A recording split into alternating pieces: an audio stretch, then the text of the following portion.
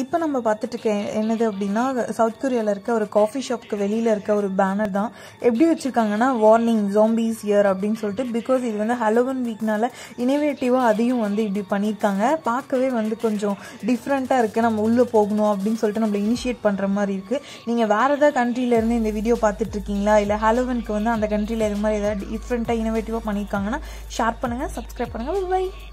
link comment பண்ணுங்கள்